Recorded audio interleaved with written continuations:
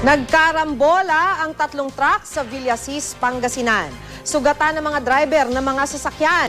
Ayon sa mga saksi, mag-overtake sana ang isang six-wheeler nang may sumalubong na motorsiklo. Kumabig daw ang truck, kaya ito bumangga sa isang 14-wheeler. Parehong dumausdos ang dalawang truck hanggang masalpok ang isa pang truck.